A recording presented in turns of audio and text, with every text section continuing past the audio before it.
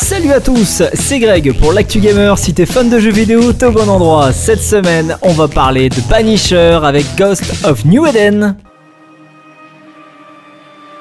Ouais, je sais ce que tu vas dire, on en a déjà parlé sur l'actu gamer. Eh ben sache que j'ai pas une bonne nouvelle pour toi puisque la sortie est retardée. Alors c'est vrai qu'on peut dire que l'année 2023 a été riche en sorties et ce sera d'ailleurs encore le cas durant les prochains mois avec le lancement de plusieurs mastodontes euh, début 2024. Après une première moitié de l'année 2023 qui a vu naître bon nombre de hits, à commencer par The Legend of Zelda, Tears of the Kingdom, Street Fighter 6 ou encore Starfield et Baldur's Gate 3, la suite s'annonce tout aussi intense. Alors c'est vrai que courant octobre, on a tout simplement vu débarquer de nombreux titres, à commencer par Assassin's Creed Mirage, qui était disponible à partir du 5 octobre dernier, mais aussi Forza Motorsport, Super Mario Bros, Wonder ou encore Alan Wake 2, Marvel, Spider-Man 2.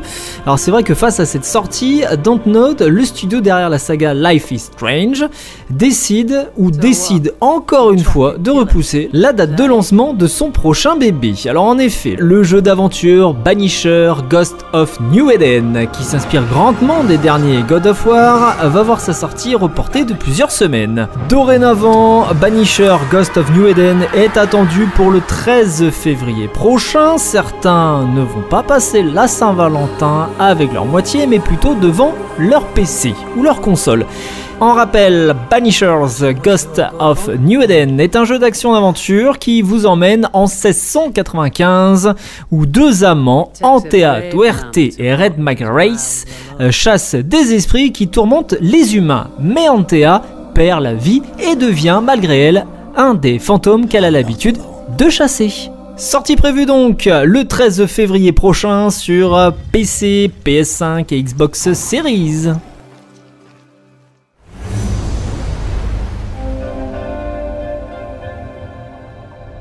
Et pour terminer l'actu gamer, on va parler de Skull and Bones. La société possède ses propres règles. Elles définissent votre place parmi les autres. Mais aussi votre valeur.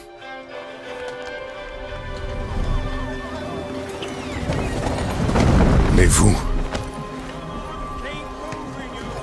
pouvez changer les choses. Si vous avez aimé Assassin's Creed 4 Black Flag et que vous avez déjà pensé à tout ce qu'il y a à faire dans Sea of Thieves, vous attendez sûrement Skull and Bones avec impatience. Alors malheureusement, le jeu a subi un développement pour le moins chaotique et a subi de nombreux reports depuis son lancement.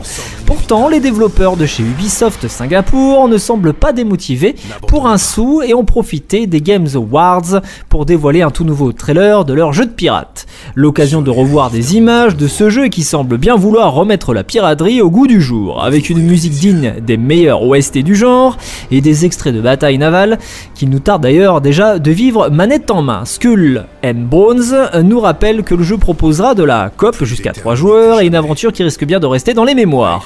Mais le moins que l'on puisse dire, c'est que dans tout ça, c'est que la date de sortie a enfin été révélée. Ubisoft ne s'est pas fait prier pour dévoiler que tous les fans de Skull and Bones attendaient la date de sortie du jeu qui est apparue dès le début du thriller montré aux Games Awards.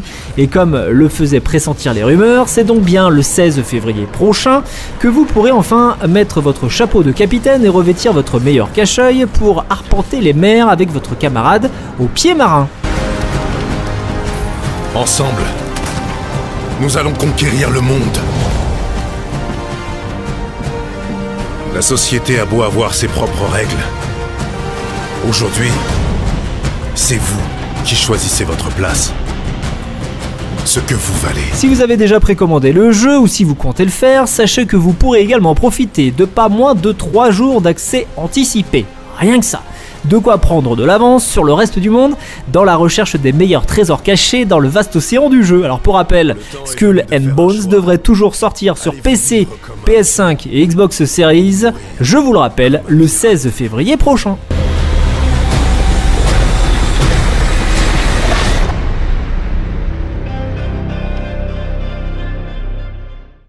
C'était Greg pour l'actu gamer, bon game et à la semaine prochaine.